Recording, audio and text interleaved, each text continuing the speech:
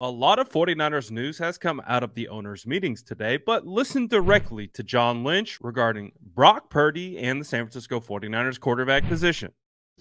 I think Brock has earned the right with the way he played that he's probably the leader in the clubhouse at that. You know, I'll let Kyle make those kind of decisions, but I know when we talk, I think Brock's probably earned that right to be the be the guy. If we were to line up, he'd probably take that first snap. And um, really excited about where Trey is at with his uh, progress from his injury. Um, he's been working really hard, and um, you know, uh, love the opportunity to be able to bring in Sam Darnold and his skill set. We think it's a really good fit, and uh, so we like that. We like that room a lot. Do you think that Brock has sustainability?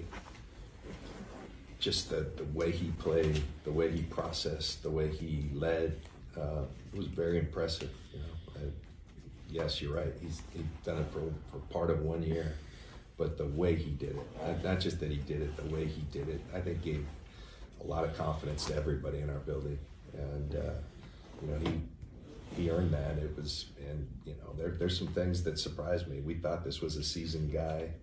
We knew he was a guy who processed really well. I had no idea he was that good athlete. I really didn't. His escape ability, those things really, I knew he was a good athlete.